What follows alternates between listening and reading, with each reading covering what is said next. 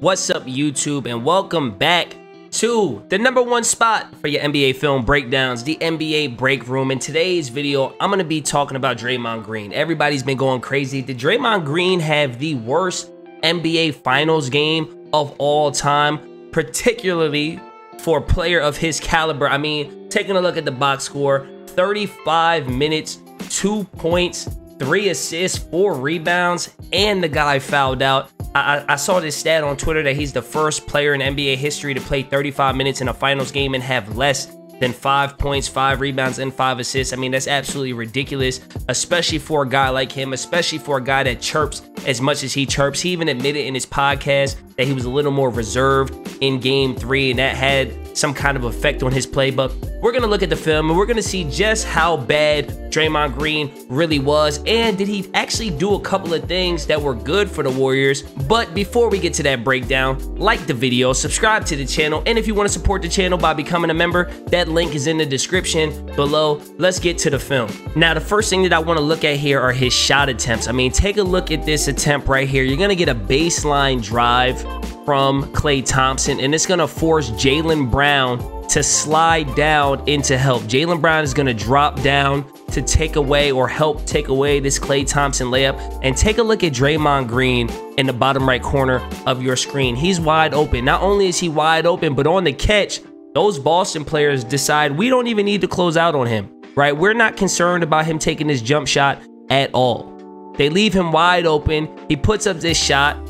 It's a miss, whatever, it happens. You're not going to make every shot. But let's keep taking a look at how Boston was defending him on shot attempts. Take a look at this next possession right here. You got Draymond Green who's up in the corner. He's being guarded by Marcus Smart, but you can also see right here on this play, Marcus Smart is communicating with Jayson Tatum to switch because Tatum is in a better position to be able to get out over the top of any Otto Porter screen. As we click play here, you're going to see a drive Tatum decides, I'm not worried about Draymond Green here. Marcus Smart steps up to help stop the penetration. Jayson Tatum drops down to take away Otto Porter. Again, they will live with a Draymond three. This is a wide open shot for Draymond Green, but once again, he's unable to knock it down. So you can see how the Boston Celtics are actually taking advantage of Draymond playing as poorly and shooting as poorly as he does by overhelping and saying, hey, if Draymond's going to beat us, he's going to beat us, but we don't think that he will because they're able to leave Draymond when he's on the perimeter, it clogs up the lane for everybody else. Take a look at this clip here. You're going to get a little pitch and screen right here between Looney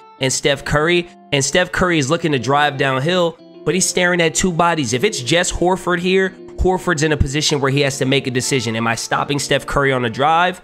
Or am I going to drop down and take away the lob to Looney?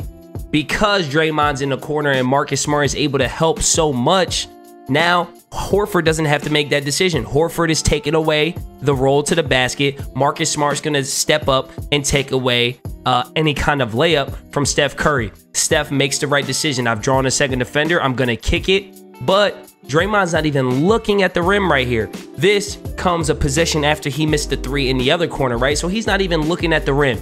Marcus Smart doesn't close out on him. He just plays the handoff to Klay Thompson, and you get a tough contested jumper.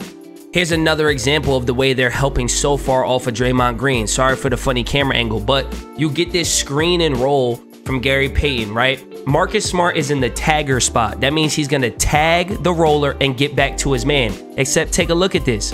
On the roll right here, he's not just tagging and getting back to Draymond. He's sitting there. Horford is in drop coverage. I don't know why they continue to play drop against Steph Curry, but Horford is in drop coverage and he doesn't even have to worry about the roll man because Marcus Smart's going to take the roll man away. They are daring Golden State to hit Draymond Green right here on the perimeter. Steph Curry decides to pull up and he's short on the shot. Sadly, Draymond Green's shooting is getting to a point where I don't even know if his teammates really trust him. Like, maybe that's not particularly fair, but let's take a look at this one possession right here where Klay Thompson is actually going to drive. He forces Draymond's man to slide all the way over and help again. Jayson Tatum is over helping. They're not worried about Draymond taking shots, but this could have been an easy kick out to the corner. The corner three in the NBA is the shortest three. It's the most efficient three and he's not even looking to throw the ball to Draymond. He throws a crazy behind his head pass to a big at the top of the key, overthrowing it to Draymond Green in the corner. An adjustment that I think that the Golden State Warriors can make is playing Draymond in the dunker spot. Not because he's a super athlete who's going to catch lobs, but take a look at the difference when he's in the dunker spot right here. When Draymond Green gets low in the offense, let me pause it right here. Now he's actually in a position where he can hurt the Celtics for any overhelping or leaving him wide open. As Marcus Smart slides over to stop the backdoor layup from Klay Thompson, it leaves Draymond Green wide open, except instead of being wide open from three, a shot he's not particularly well at taking, he's underneath the basket and he's able to get an easy dunk for two points, his only make of the evening. Another example here of the adjustment I think Golden State should make going into game four. Just like I showed you in the previous clip, when Draymond Green is at the dunker spot, it puts the Celtics in a position defensively where they can't really help. And if they do, they get penalized for it. Take a look at Marcus Smart here. Marcus Smart is guarding Draymond Green. Draymond Green in the dunker spot.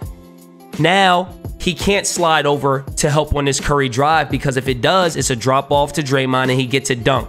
You see Marcus Smart does a little stunt and recover there, and it allows Steph Curry to get a wide open layup. But despite how poorly Draymond Green played, he still does some things on the floor that other guys just don't do. Like he's still a super smart player. Take a look at this clip here. This is not a set of any sort. This is just the Warriors playing five out offense. You're gonna see Klay sets a screen and slips, and just look at this screen from Draymond. Draymond's gonna set this little flare screen for Klay Thompson to get him a wide open three. Or you take a look at this clip right here where the Warriors are out in transition. I want you guys to keep an eye on Draymond Green running the floor. Take a look at what he does. As he's rim running, he's gonna just seal Jaylen Brown here. Is that an illegal screen? Maybe technically, but that's never going to get called and Wiggins gets an easy dunk. And it's not just his intelligence when setting ball screens. I mean, he does, he is a really good passer, right? Take a look at this in transition. Not many fours can bring the ball down, get to the middle, kick out for a wide open three. Or this pass here, which might have been the pass of the night. Take a look at this play. Draymond running the break here. He's patient, bounce pass between two defenders for a wide open dunk. Like that's a great play from Draymond. So when you take a look at the film, was it a bad game for Draymond Green? Absolutely, it was a horrific game. Was it one of the worst games in NBA Finals history from a player? I mean, I don't know. That's I guess that's up for for fans and critics to debate and talk about. I mean, when you look at the film, there are still glimpses of things that Draymond does for the Warriors that they just don't have another guy that can do. The way the Celtics are defending him, especially on the perimeter, is a problem not just for Draymond, but for everybody else. When when a guy can sink as far off as Marcus Smart and Jayson Tatum are sinking, as you can see